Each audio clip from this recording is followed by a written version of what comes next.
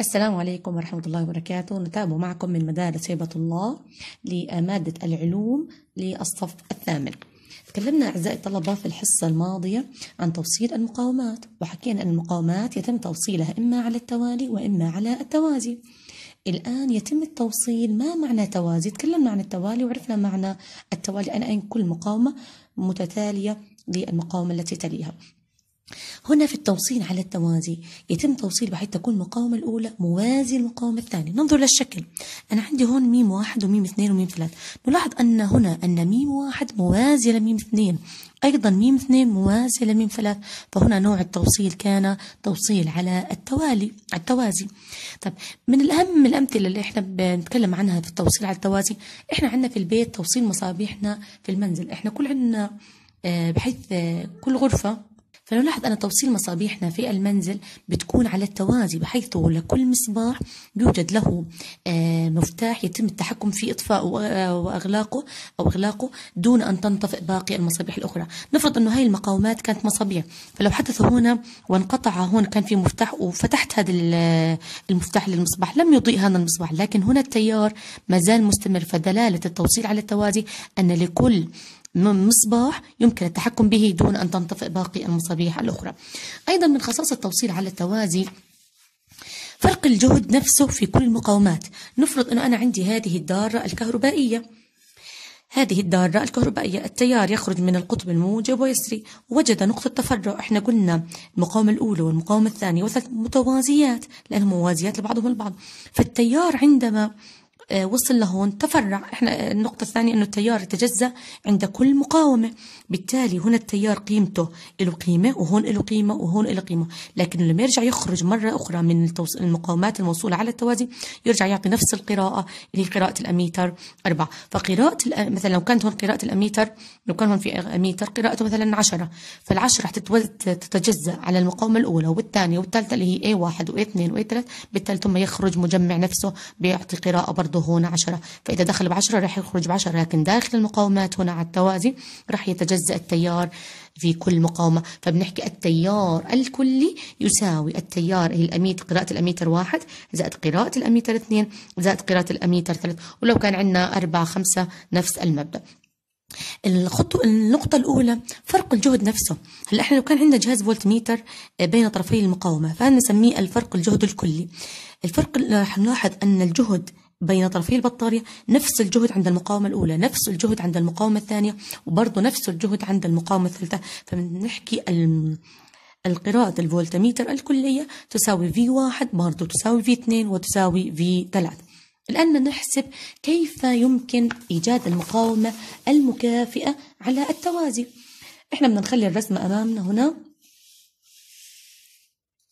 هلا إحنا حكينا نقطة مهمة حكينا ان التوصيل على التوازي التيار يتجزأ. فبنحكي التيار الكلي يساوي تا واحد زائد تا اثنين زائد تا ثلاث هلا قيمة التيار الكلي ماذا تساوي؟ تساوي الجهد الكلي على المقاومة الكلية. طب التيار واحد اللي بمر في المقاومة الأولى الجهد اللي بيمر فيها على قيمتها. التيار اثنين ماذا يساوي هنا؟ قراءة الأميتر اثنين. الجهد اثنين على المقاومة اثنين. الأميتر ثلاث ماذا يساوي؟ الجهد ثلاث على المقاومة ثلاث. لكن إحنا شو حكينا قبل قليل؟ حكينا أن فرق الجهد متساوي. فإذا شو عملنا لغينا جميع فروقات الجهد. فأصبح قراءة واحد على ميم. هلأ بدنا نسميها ميم الكلية ميم المكافئة لأنها هي تكافئ قراءة المقاومات جميعها. وتساوي واحد على ميم واحد زائد واحد على ميم اثنين زائد واحد على ميم ثلاث. فهنا أوجدنا قراءة أو قانون لإيجاد المقاومة المكافئة في التوصيل على التوازي. الآن أكيد للتوصيل على التوازي يوجد عدة فوائد. ما هي فوائد التوصيل على التوازي؟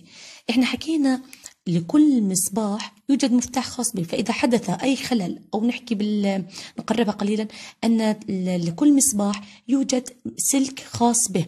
فإذا حدث خلل في هذا المصباح هلا التيار في التوازي كما لاحظنا في الرسم السابقة التيار إذا وصل لهون بيتجزأ فبيعطي قراءة تيار هون تيار هون تيار هون فالتيار حدث خلل هنا بكمل لا يكمل لأنه انقطع لكن التيار اللي هون والتيار اللي هون بيكمل وهو بيضيء المصابيح لو كان هون في مصابيح. فبالتالي التوصيل على التوازي إذا حدث أي خلل أو أي تلف في أحد المصابيح تبقى بقية المصابيح تعمل دون أي ضرر. هلأ أنا لما أوجدت المقاومة المكافئة حسب القانون أوجدنا وأثبتنا كيف أوجدنا. الآن لما بدنا نحسب المقاومة المكافئة رح نلاحظ أن قيمتها صغيرة وهي أصغر من أصغر قيمة من قيمة المقاومات الموجودة في الدارة. لو فرضنا بس على هذا الرسم البسيط أخذنا مقاومتين موصولات على التوازي كما نلاحظ. قراءة المقاومة الأولى هي نفرض أنها ميم واحد وهنا ميم اثنين فبنحسب واحد على ميم المكافئ حتى نثبت أن قيمة المقاومة المكافئة قليلة. أصغر من أصغر مقاومة موجودة هنا. وتساوي واحد على ميم واحد زائد واحد على ميم اثنين. كم؟ ميم واحد اثنين. كم ميم اثنين؟ برضو اثنين. المقامات موحدة. إحنا هون لا ننسى يا صبايا وشباب أن هنا واحد على ميم المكافئة وليس ميم المكافئة لوحدها. فالمقامات موحدة أصبحت اثنين على اثنين وتساوي واحد. الآن واحد على ميم المكافئة تساوي واحد. هل بحاجة لقلبها؟ ممكن نضح على واحد نضرب ضرب تبادلي. تصبح ميم المكافئة ضرب هي ضرب واحد ما بهم وتساوي واحد. فأوجدنا قيمة المقاومة المكافئة على التوازي.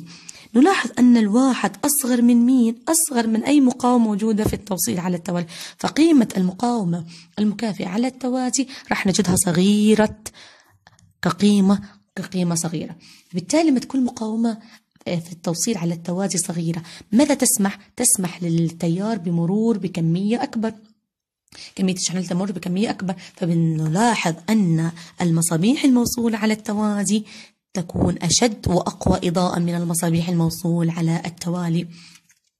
فاستنتجنا هنا أن المقاومة المكافئة تكون قيمتها قليلة. فحسب ميم العلاقة ميم تساوي الجهد على التيار نجد أن كلما كانت المقاومة صغيرة يكون التيار يكون التيار أكبر. فالتوصيل على التوازي يسمح بمرور تيار أكبر بالتالي إضاءة المصابيح أكثر إضاءة من التوصيل على التوازي. الآن بس حتى بس نأكد الفكرة في التوصيل على التوازي.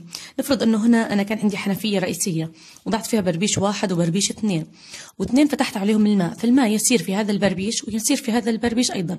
فإذا حدث أي خلل في هذا البربيش هل يؤثر على هذا البربيش الآخر؟ لا هو نفس الموضوع التوصيل على التوازي. فبالتالي لكل مصباح تيار خاص به يمر دون أن يؤثر على باقي المصابيح في التوصيل على التوازي. من طلابنا صف ثامن في أمثلة خارجية حتى نميز التوصيل رح أجمع بين التوصيل على التوالي والتوصيل على التوازي معا في نفس الدار الكهربائية. ننظر إلى الدار الكهربائية الآتية. هذا التيار يخرج من هنا يصل إلى هنا نقطة تفرع. مجرد ما وصل نقطة التفرع فالتيار هنا يتجزأ يتجزأ لهذا المصابيح ولهذه المصابيح ولهذه المقاومات وهنا المقاومات فنلاحظ أنه لما وصل للمقاومات اللي هون وجد المقاومة الأولى ثم وجد مقاومة أخرى. فهنا التوصيل ما نوعه؟ التوصيل هنا توصيل على توالي. بكتب أعلاه حتى ما أنسى. فدغري بوجد مقاومة المكافئة بوجد ميم المكافئة. هنا شو نوع التوصيل كان؟ توالي. فبحكي واحد زائد اثنين الجواب ثلاثة. أوم خلصنا من هذه المقاومة في التوصيل على مقاومتين توصيل على توالي. أعيد رسم الرسمة بطريقة مبسطة حتى نجمع الأمور مع بعض. هذه هي المقاومتين واحد واثنين شو صار مكانهم؟ ثلاثة. أوم ونكمل باقي الرسمة كما كانت مرجو مرسومة وموجودة سابقا وهذا هو البطارية.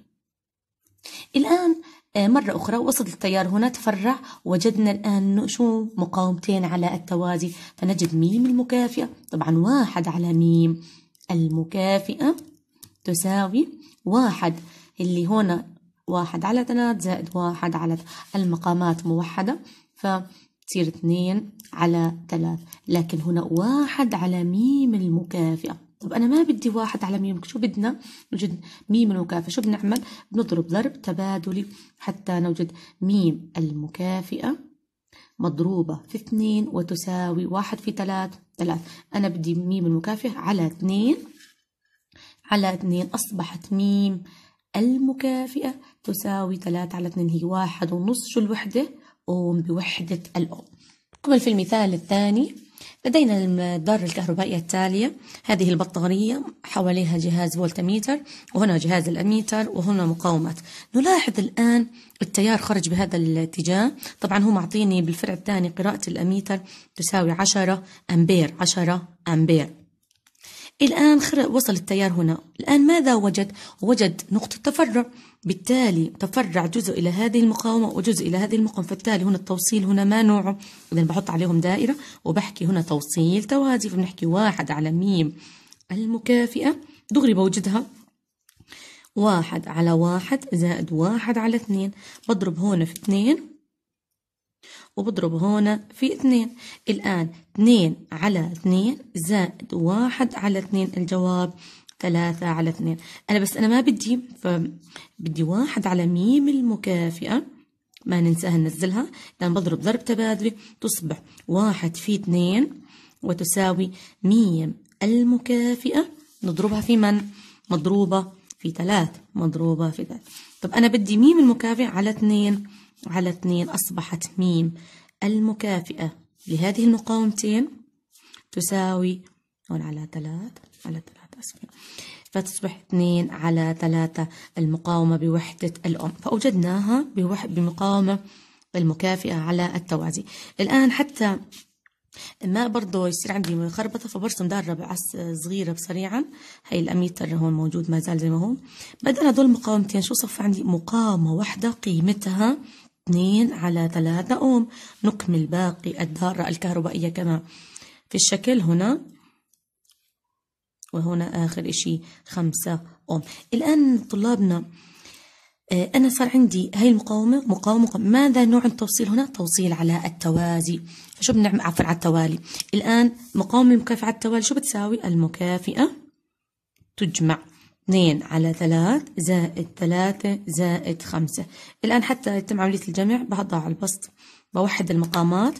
بضرب هون في 3 وبضرب هون في 3 وهون برضو في 3 وبضرب هون في 3 الآن آه، أصبح 2 زائد 3 في 3 9 زائد 5 في 3 15 والمقام كله 3 وتساوي ميم المكافئة. الآن والآن نجمع 2 و9 و15 26 على 3 هنا احتجنا الميم المكافئة في هذه الدارة وقيمة المقاومة المكافئة بوحدة الأم. فوجدنا المقاومة المكافئة الثاني بيحكي لي إذا كانت قراءة الأميتر 10 الأميتر موجود عندي 10 وبده قراءة جهاز الفولتميتر. هلأ بدنا قراءة جيم يعني جيم ماذا تساوي؟ جيم تساوي المقاومة. المكافئة تسا... ضرب عفوا. المقاومة. المكافئة في التيار الموجود عندي بالشكل. المقاومة المكافئة ستة وعشرين على ثلاث. نضربها في قيمة التيار عشرة وتساوي ميتين وستين على ثلاث. ممكن نبسطها بهذه قراءة الجهد بوحدة الفولت.